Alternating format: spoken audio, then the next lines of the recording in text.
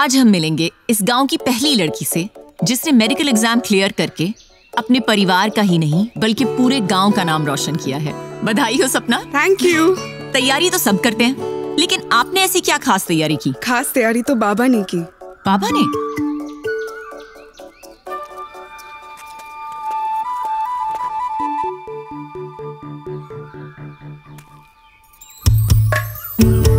इज़्ज़त कर। चार साल पहले बाबा ने इसे बनवाया।